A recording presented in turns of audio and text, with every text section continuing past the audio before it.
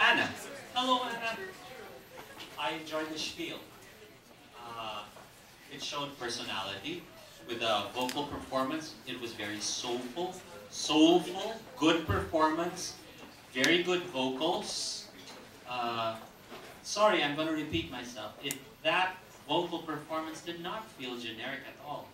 It was soulful. It, you also showed within 120 seconds, showed your impressive range also. Uh, commendable vocal improvisation.